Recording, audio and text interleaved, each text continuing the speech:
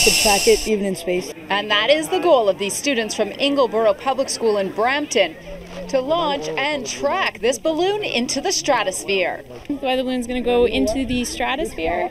It's going to expand to about 30 feet. So right now you can see it's about six feet circumference. Uh, it's going to expand to about 30 feet, pop, and come back down, hopefully in a location we can get it from.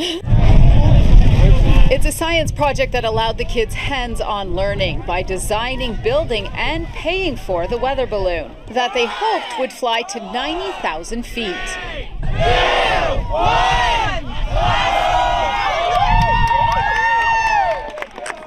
The was equipped with tracking equipment as well as a video camera, but very early on, the students learned one other important lesson that in science, experiments don't always work on your first attempt. It, uh, it, it went across the waves too much, it fell.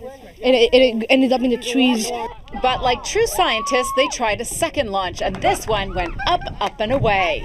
Took off beautifully well. It cleared the clouds, and we're packing up to chase it. Staff first came up with the idea for this hands on learning for the kids after hearing about two teens who sent a Lego man into space. They were hoping to capture similar video.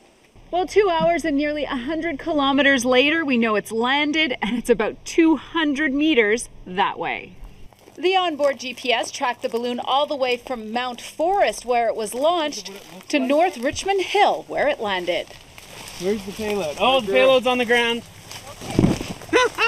Huge accomplishment for the kids and the school. But there would be one disappointment. The onboard video camera didn't work. I think they'll still be so excited that they got this experience. So the lesson here definitely with science is try, try again. And the students and staff will be relaunching a second balloon in the future. In Richmond Hill, Audra Brown, CityNews.